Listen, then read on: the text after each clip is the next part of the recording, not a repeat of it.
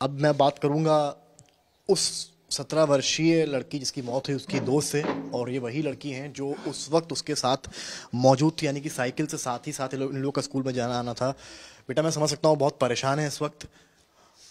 आप रो भी रही हैं, पर आप बताइए कि उस वक्त, क्योंकि आपसे ज़्यादा करीब से उस घटना को किसी ने नहीं देखा, क्या हुआ था उस दोपहर में?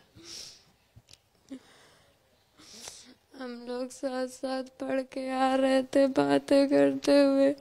वो दोनों बाइक सटा के एकदम गए हैं दुपट्टा खींच गए साइकिल तिरछी हो गई थी सड़क पे चली गई।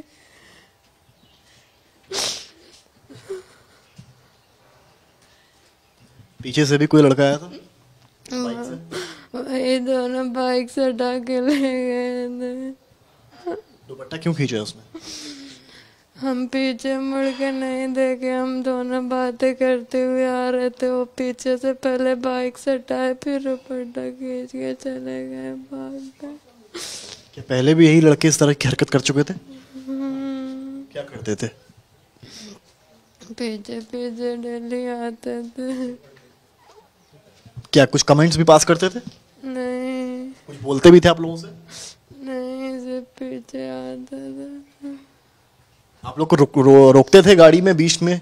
ऐसा होता था कभी? नहीं। कभी बहस हुई? पहली बार हुआ कि उसने दुपट्टा खींचा इस तरह से? पहले से आप लोग जानते थे उस उन लड़कों को?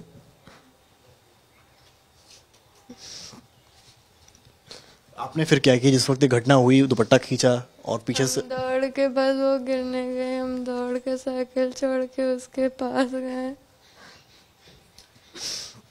हालाँकि आपके दोस्त को चोट लग चुकी थी क्या वो कुछ बोली आपसे आखिरी में?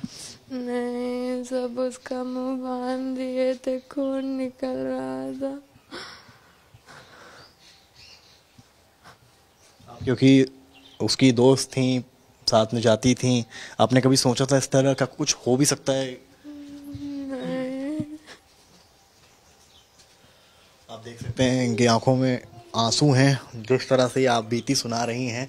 आप चाहती क्या मेरा आखिरी सवाल आपसे लूँगा आप बहुत परेशान उन लड़कों के साथ क्या होना चाहिए? लड़कों की भी मौत होनी चाहिए जैसे मेरी बहन का हुआ।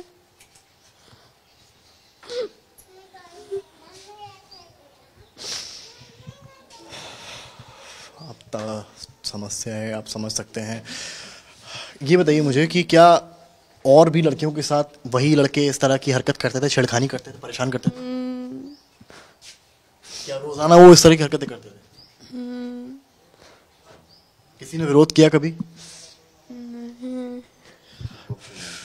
फ़िलहाल आप समझ सकते हैं यहाँ पर कि जिस तरह से इनकी आँखों में आँसू हैं और ये आप बीती भी बयां सही से नहीं कर पा रही हैं। इनकी केवल एक मांग है कि जिस तरह से इनकी बहन, इनकी दोस्त के साथ जो घटना हुई, ठीक उसी तरीके से जो आरोपी हैं तीन, उन तीनों के साथ भी यही बर्ताव किया जाए।